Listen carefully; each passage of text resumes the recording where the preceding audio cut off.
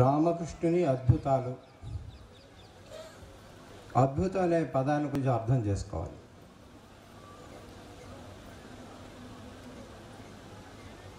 అద్భుతం అనే పదానికి కొన్ని పర్యాయ పదాలు కూడా ఉన్నాయి.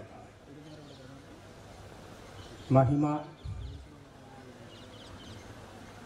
సిద్ధులు మిరకల్స్ ఈ పదాలన్నిటికి కూడా అద్భుతానికి మనం అన్వయించుకోవచ్చు. ఈ అద్భుతం అంటే ఏంటి మహిమ అంటే మనకు తెలుసు. అనిమ లఘిమ అష్టసిద్ధులు ఉన్నాయి. అద్భుతం అంటే మనకి ఆశ్చర్యాన్ని అబ్బురాన్ని కలిగించేది. ఎన్నడూ మనం కని విని ఎరిగినటువంటి ఒక విచిత్రమైన సంఘటన ఏదో దాన్ని అద్భుతం అని అనుకుంటాం. అసంభవాన్ని సంభవం చేసే ఒక ప్రక్రియను కూడా అద్భుతంగా మనం భావిస్తాం. శ్రీ రామకృష్ణుని భక్తులుగా వీటిని మన జీవితంలో ఏ విధంగా గ్రహించాలి అన్నది ముఖ్యమైన విషయం.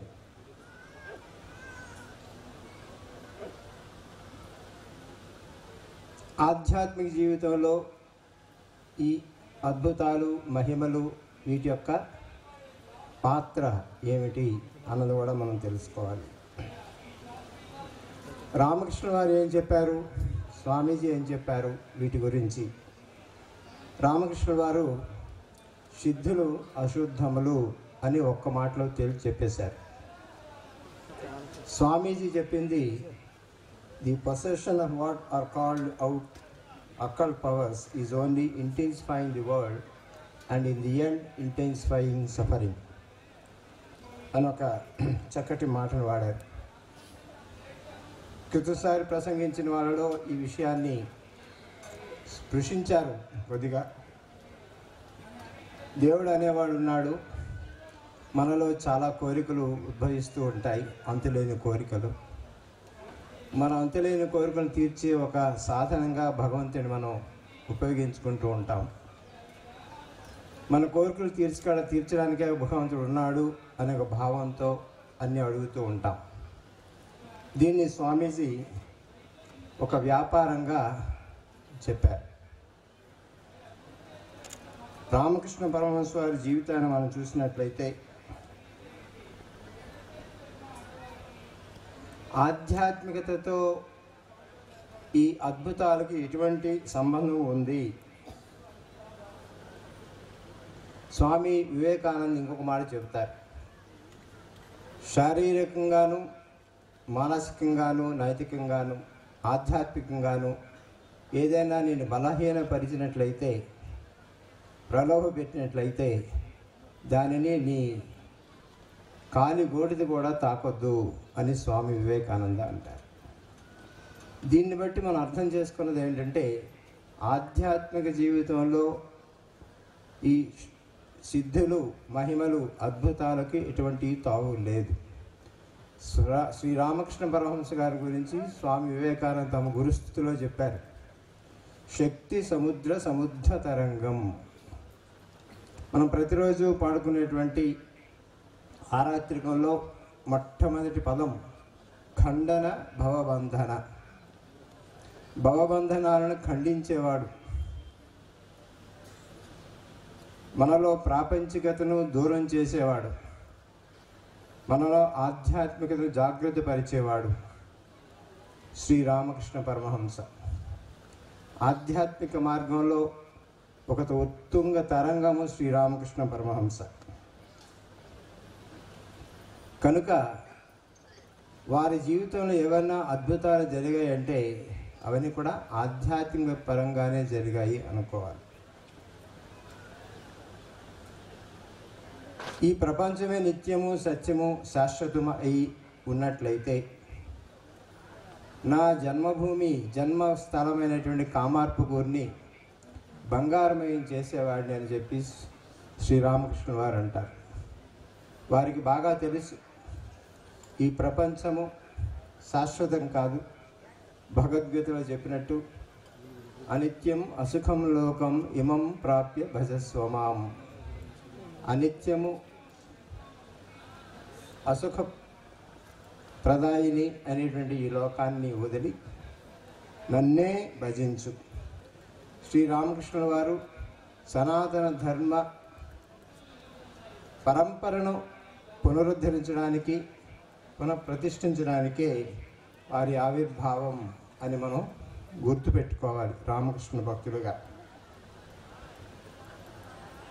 వివేకానంద స్వామి కూడా అంటారు ప్రపంచంలో ఉండే సంపదనంతను ఒక గ్రామంలో వేసినప్పటికీ కూడా ఆ గ్రామాన్ని గ్రామంలో ఉండే ప్రజలను ఉద్ధరించలేము అని అన్నారు. స్వామీజీ ఇంకొక మాట కూడా అంటారు. We are interested in hobgoblins goes mahatmas mystery mongering and superstitions are always a sign of degradation అని ఒక మాట అంటారు. ఒక సాధువుని చూస్తే హస్తం చూస్తారా? జాతకం చెప్తారా?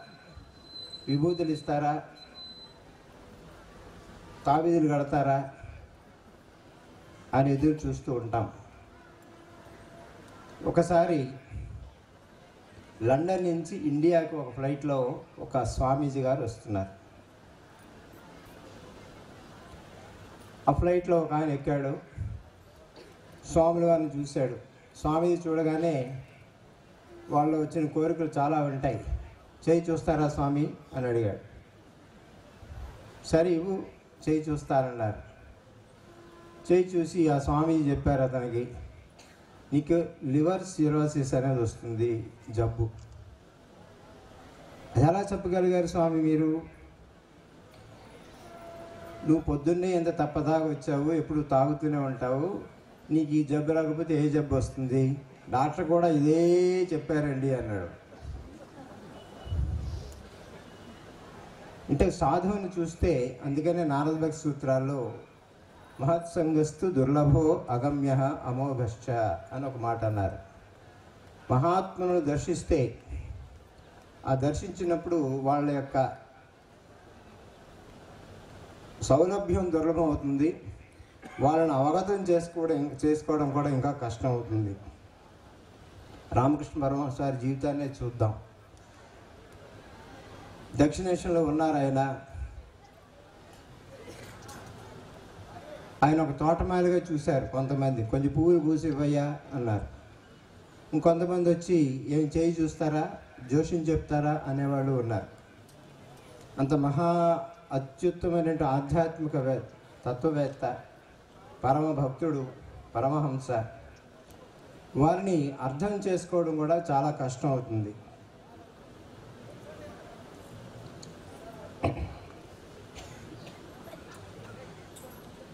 తర్వాత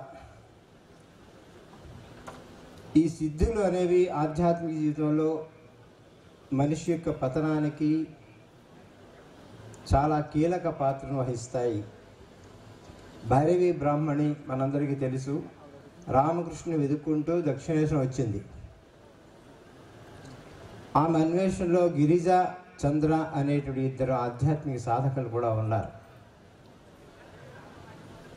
గిరిజా చంద్ర అనేవాళ్ళు అత్యున్నత ఆధ్యాత్మిక ప్రగతిని పొందినప్పటికీ కూడా ఈ సిద్ధుల యొక్క బారిన పడి ఏ విధంగా భ్రష్టు అయ్యారో మనం ఒకసారి లీలామృతాన్ని చదివితే అర్థమవుతుంది. దీన్ని బట్టి మనం అర్థం చేసుకోవాల్సింది ఏమిటి అంటే సిద్ధులు అనేవి ఆధ్యాత్మిక ప్రగతికి అవరోధాలు. మనలో ప్రాపంచికతని పెంచేవిగా ఉంటాయి. ఆధ్యాత్మికని పెంచేవిగా ఉండవు అని మనం అర్థం చేసుకోవాలి.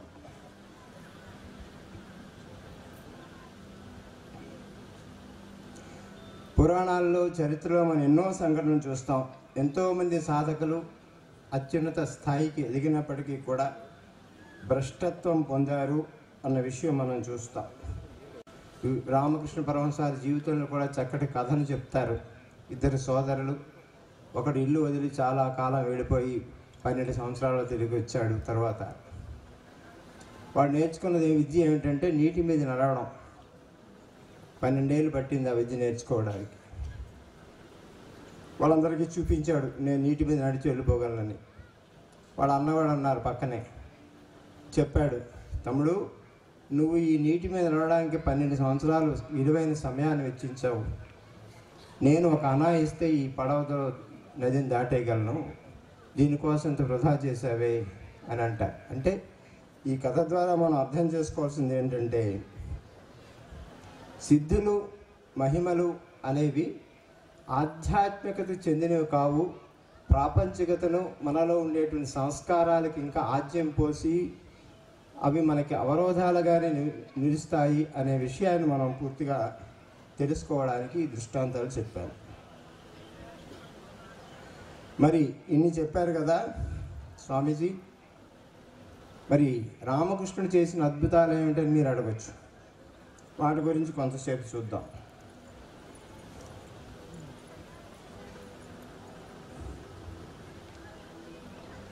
రామకృష్ణ పరమహంస వారి జీవితం మనం చదివినట్లయితే ఒక విషయం బాగా జ్ఞాపకం వస్తుంది. ఆయన అవతారం ఒక అద్భుతం. ఆయన జన్మ ఒక అద్భుతం ఆయన శైశవం ఒక అద్భుతం ఆయన బాల్యం ఒక అద్భుతం. ఆయన సాధనలు అద్భుతాలే. వారి పెళ్ళి కళ్యాణం శారదాదేవితో చేసుకున్న ఆ కళ్యాణం ఉన్నదే అది కూడా మహత్తరమైనటువంటి అద్భు అత్య అత్యంత అద్భుతమైనటువంటి ఘట్టం. భగవద్గీతలో చెప్పినట్టు జన్మ కర్మచ మే దివ్యం. యో ఏవం యో వేత్తి తత్వత. త్యక్వాదేహం పునర్జన్మ నైతి మామేతి సోర్జున.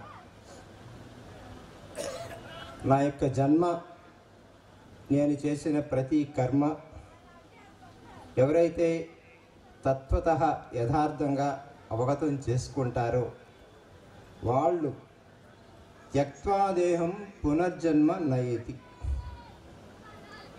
ఈ శరీరాన్ని చాలించిన తర్వాత వాళ్ళు తిరిగి జన్మను పొందరు. పొందకుండా ఏం చేస్తారు? మాం ఏతి నన్నే పొందుతారు. ఓ అర్జున అన్నారు. రామకృష్ణ పరమహంస గారిని స్థుతిస్తూ వివేకానంద స్వామి చక్కటి గురుస్థుతిని ఇచ్చారు మనకి. కర్మ కలేవరం అద్భుత చేష్టం అని ఒక మాట అన్నారు.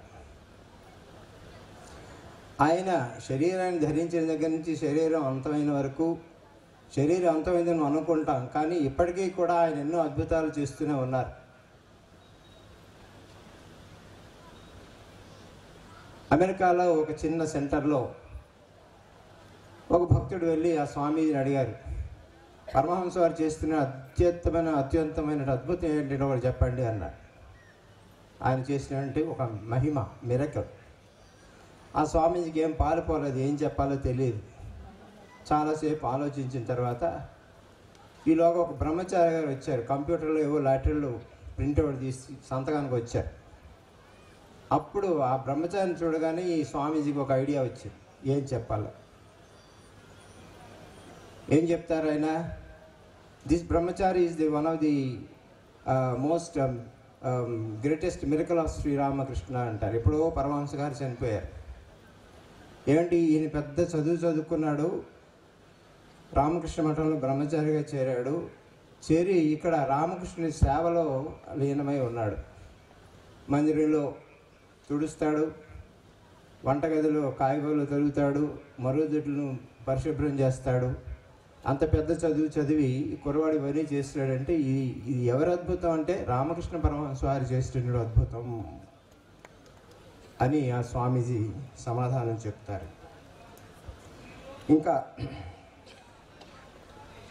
మన ఆంధ్రప్రదేశ్లోనే ఒక సాధు పొంగులు ఉండేవారు. ఆయన ఒక చక్కటి పాట రాశారు. పదిన్నర అయిపోయింది. అంటే మధ్యలో కరెంట్ పోయింది స్వామీజీ. ఫైవ్ మినిట్స్ అనా ఓకే. ఆ స్వామీజీ పేరు స్వామి అనుభవానందజీ మహారాజ్. ఆ పాటలో శ్రీరామకృష్ణ ఈ- శ్రీరామకృష్ణ వారు ఎంత అత్యంత అద్భుతమైన మూర్తి అనే భావాన్ని తెలియజేస్తారు. ఆ పాట ఈ విధంగా ఉంటుంది. ప్రభో రామకృష్ణ మహాత్మా ప్రభో జగత్కృష్ణ అది పల్లెవాసివై పట్నములేలెడు పుట్టు పేదవై భోగములిచ్చడు. చదువులు లేకయే శాస్త్రము పల్కెడు. ఎంత మహిమ గలవాడవు తండ్రి ప్రభో రామకృష్ణ మహాత్మా పుట్టింది పల్లెటూరు. కానీ పట్టణవాసులు అందరికీ కూడా ఆయన జ్ఞానోపదేశం చేస్తున్నారు. పట్టణవాసులు అందరూ ఆయన్ని పూజిస్తున్నారు. పుట్టింది నిరుపేద కుటుంబంలో కానీ అందరికీ భోగభాగ్యాలు అందిస్తూ ఉన్నాడు. చదువులు రావు నాకు చదువు అక్కర్లేదు. పట్టకూటి చదువులు అక్కర్లేదన్నాడు. ఏం చదువు కావాలన్నాడు? జీవితాన్ని ధన్యం చేసేటువంటి చదువులు కావాలన్నాడు. మరి చదువులు లేకయే శాస్త్రము పలికాడు. చదవలేదు. మనలాగే పుస్తకాలు చదవలేడు ఆయన. కానీ శాస్త్రాలు పుంఖానుపుఖంగా ఆయన నోటి నుంచి వెలువడ్డాయి. ఇది అద్భుతం. ఎంత మహిమ గలవాడవు తండ్రి! పాలరాతి దేవాలయములట పుష్పరాజముల ఉద్యానములట. పుట్టింది పేద కుటుంబంలో కానీ ఆయన పరమ వైరాగ్యి అయినప్పటికీ కూడా ఆయనకి పాలరాతి దేవాలయాలు వెలసాయి. పుష్పరాజముల ఉద్యానములట. చూడండి ఏ రామకృష్ణ మఠానికి వెళ్ళినా ఎంతటి చక్కటి పూల తోట ఏర్పాటు చేస్తారు. రామకృష్ణుని కైంకర్యం చేయడానికి చక్కటి పుష్పరాజములు ఉద్యానములట. కోటీశ్వరులే కొల్చుదాసులట ఆయన నిరుపేద కానీ ఆయన కొలిచే వాళ్ళందరూ కోటీశ్వరులు. అద్భుతమూర్తివి ఆశ్చర్యము గదా. అద్భుతమూర్తి. ఆయన జీవితం ఒక ఆశ్చర్యం. విద్యావాహిని వెలయు జిహ్వకడ ప్రేమ మధుని హృది కొసగెడు విద్యావాహిని వెలయు జిహ్వకడ చదువులు లేవు శాస్త్రాలు రావు. కానీ నోరు విప్పితే గడగడ వస్తుంది గడగడ ప్రవహిస్తుంది ఆయన జిహ్వ నుంచి. జగన్మాత ఆయన హృదయం నోటి నుంచి చక్కటి మాటలు పనికిస్తుంది ఆయన హృదయం ప్రేమ మధువు వర్షిస్తుంది. కరుణ చంద్రికలు కన్నుల వెల్వడు అద్భుతమూర్తివి అనుభవమూర్తివి ఆనందుడవు ప్రభు రామకృష్ణ మహాత్మా. ప్రభు జగత్కృష్ణ. ఇంతకీ చెప్పవలసింది అవతారమూర్తి ఆవిర్భావం అనేది ఒక మహా అద్భుతం. ఆయన జన్మించడం ఒక అద్భుతం. తండ్రి గారి యొక్క ఆ దివ్య సందర్శన గయా క్షేత్రంలో తల్లి గారికి శివుని క్షేత్రంలో దివ్య దర్శనం వారి ఆవిర్భావం శవకేశవులు కలిసి రామకృష్ణునిగా ఆవిర్భవించడం పుట్టిన తోడనే ఆయన ఒంటి నిండా భస్మం పూసుకోవడం తర్వాత పుట్టినప్పటి నుంచి అందరికీ ఆనందాన్ని పంచిపెట్టాడు. గ్రామంలో అందరూ ఆయన వచ్చి ముద్దాడుకునేవారు. ఆయన దగ్గర కాలక్షేపం చేసేవారు. ఆయన తనివి తీరా చూసి ఆనందించేవారు. సో మా అవతారమూర్తి పుట్టిన దగ్గర నుంచి కూడా అందరికీ ఆనందాన్నే పంచిపెట్టాడు. అదొక అద్భుతమైన అద్భుతం. మరి చిన్న వయసులో ఆయనకి జంధ్యం వేయాలి. మాట ఇచ్చాడు నీ దగ్గరే భిక్ష తీసుకుంటాను ప్రథమ భిక్ష అన్నాడు. ఎన్నో ఆచారాలకు ఎదురొడ్డి ఆయన తన మాటను సత్యవాక్కుని నిలబెట్టుకున్నాడు. ధనికామరుడి దగ్గర భిక్ష తీసుకొని ఇది ఒక అత్యద్భుతం అన్నమాట నిలబెట్టుకోవడం ఉంది అది అద్భుతాలలోకెల్లా అద్భుతమైనటువంటిది అని మనం గ్రహించాలి. మనకి మంచినీళ్ళతో మంచినీళ్ళ ప్రాయంగా చెప్పేస్తూ ఉంటాం అబద్ధాలు. కానీ రామకృష్ణ యొక్క జీవితంలో మనం నేర్చుకోవాల్సింది ఏంటంటే మనస్సుని భగవంతుని మీద లగ్నం చేయడం. అది ఒక అద్భుతం. మనస్సు ప్రాపంచిక విషయాల మీద పరుగు పరిగెడుతూ ఉంటుంది. అది దానికి సహజం అది. అటువంటి మనస్సును నిగ్రహించి భగవంతుని మీద లగ్నం చేయడం అన్నది అది గొప్ప అద్భుతం. అది రామకృష్ణ పరమహంస వారి శిష్యులందరి జీవితాలను చూస్తాం. ప్రతి శిష్యుడు ప్రతి శిష్యురాలు ప్రతి సన్యాసి శిష్యుడు కూడా వారి జీవితాలు మనం చూసినట్లయితే వీరందరి జీవితాలు కూడా ఒక్కొక్కటి ఒక అత్యంత అద్భుతమైనటువంటి జీవితాలు అని తెలుసుకోవాలి. తెలుసుకోవాలంటే మనసు విప్పాలి మనసు తెరవాలి తెరిచి చదివినప్పుడు అనుభూతిని పొందాలి. అప్పుడే అది ఒక అద్భుతం ఒక ఆశ్చర్యం ఒక మహిమ ఒక మెరకల్ అనేది మనకి అర్థం అవుతుంది. మనం చదివే ప్రతి విషయాన్ని కూడా ఆ దృష్టితో చదివినట్లయితే రామకృష్ణ పరమహంస వారి యొక్క జీవితం ఒక అత్యంత అద్భుతమైన జీవితం. ఇంకా ఆయన జీవితంలో ఎన్నో ఉన్నాయి. చెప్పాలంటే టైం అయిపోతుంది. గిరీష్ చంద్ర ఘోష్ ఒక అద్భుతం. నిస్తారణి ఘోష్ ఒక అద్భుతం. నిస్తారణితో పరమహంస అంటారు నువ్వు అన్ని నీకు డబ్బు ఉంది భర్త ఉన్నాడు సంసారం ఉంది అవన్నీ వదిలేదు ఇక్కడ ఎందుకు వస్తావు నువ్వు? అని అడుగుతారు పరమహంస గారు. ఆవిడ ఏం చెప్తుంది సమాధానం? ప్రహ్లాదుడికి తండ్రిని మరిపించేది ఏదో ఏ ఆకర్షణ ఉన్నదో దేవుడికి తల్లిదండ్రులను మర్పించి ఆకర్షణదో ఆ ఆకర్షణ నాకు మీ దగ్గర లభిస్తుంది కనుక మీ దగ్గరికి వస్తున్నారని.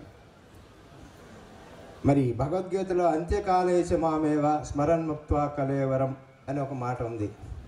చనిపోతున్నప్పుడు ఎవరైతే నన్ను స్మరిస్తారో నన్నే పొందుతారు. ఈ రామకృష్ణ పరమహంస వారి యొక్క జీవితంలో వాళ్ళ భక్తుల యొక్క జీవితాల్లో రసిక్ అనేటువంటి భక్తుడు ఏ విధంగా తరించాడో మనందరికీ తెలుసు. తెలియకపోతే అది ఆ- దృష్టాంతం చదవండి ఆ ఘట్టం చదవండి. రసిక్ కాదు హృదయుడు ఎన్నో సంవత్సరాలు ఇరవై నాలుగు సంవత్సరాలు సేవించాడు పరమహంస గారిని.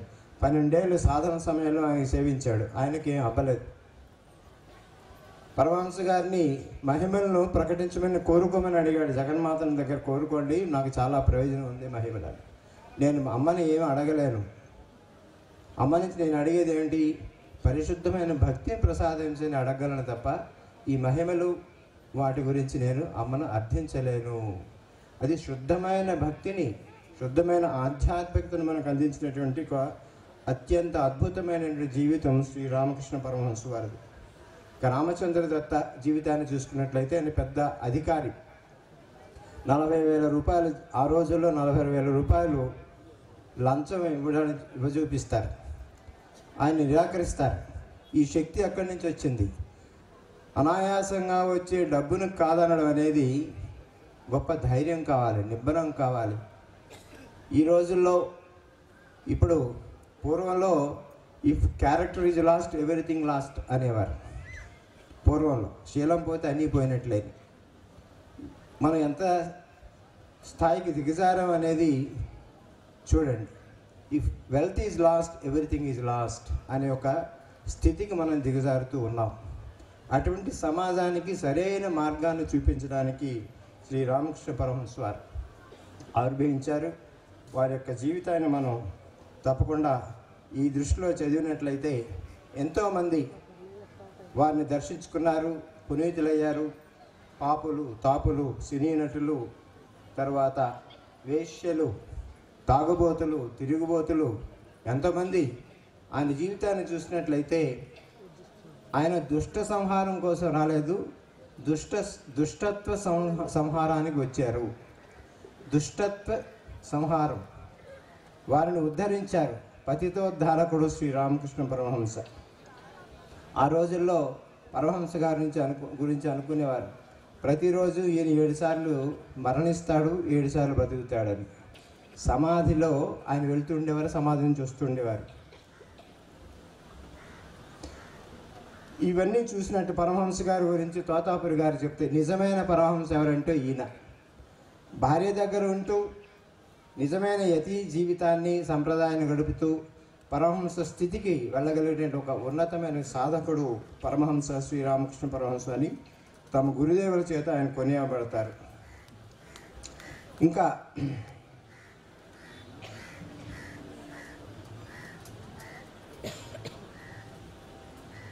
అనన్యాశ్చింతయంతో మాం ఏ జన పర్యుపాసతే. తేషాం నిత్యాభియుక్తానాం యోగక్షేమం మహామ్యం ఈ భగవద్గీత శ్లోకానికి చక్కటి ఉదాహరణ శ్రీరామకృష్ణ పరమహంస వారి యొక్క ఆదర్శ భక్తులు ఎంతోమంది జీవితాల్లో ఇది ప్రస్ఫుటంగా మనకి తెలుస్తుంది. ఇంకా శ్రీ- శ్రీరామకృష్ణ పరమహంస వారు చెప్తారు తెల్లవారు నా కోసం వస్తారు. తెల్లవారంటే దొరలు తెల్ల దొరలు. నివేదిత అంటుంది నాకు రామకృష్ణ పరమహంస వారి దర్శనం స్వామీజీని కలవకముందే లభించిందని ఒక చోట అంటుంది. మేము పూర్వంలో హిందువులమే కానీ విదేశాల్లో ఇప్పుడు జన్మించాం ఈ జన్మలో. ఎందుకంటే గురుదేవుల యొక్క భావాలను విదేశీయులకు తెలియజేయాలనే ఉద్దేశంతో మేము అక్కడ జన్మించామని ఒక మాట అంటుంది. ఈ విధంగా రామకృష్ణ పరమహంస వారి యొక్క జీవితాన్ని మనం చూసినట్లయితే వారి భక్తుల యొక్క జీవితాలను చూసినట్లయితే ఏ ప్రలోభాలకు లొంగకుండా నిజమైన ఆధ్యాత్మికత నిజమైన భక్తి మనం శ్యామసుందరిమతి గారు చెప్పినట్లు మనం అలవరచుకోవాలి అనడానికి ఈ అద్భుతాల వెనకాల పరిగెట్టకుండా ఈ అద్భుతాలను ఆధ్యాత్మిక పురోగతికి మలచుకున్నట్లుగా మన జీవితాన్ని గడపడానికి శ్రీ రామకృష్ణ పరమహంస వారి యొక్క చరిత్ర చాలా ఉపయోగపడుతుంది. అన్నీ అద్భుతాలే ఆయన జీవితంలో. అద్భుతం కానిది ఏదీ లేదు. ఆ దృష్టితో మనం చూసినప్పుడు ఆ గ్రంథాలు మనం చదివినప్పుడు ఆ అనుభూతిని పొందినప్పుడు మన జీవితం ధన్యమవుతుంది అని తెలియజేస్తూ ఈ అవకాశం ఇచ్చినటువంటి కార్యకర్తలందరికీ ధన్యవాదాలు తెలియజేసుకుంటున్నాను.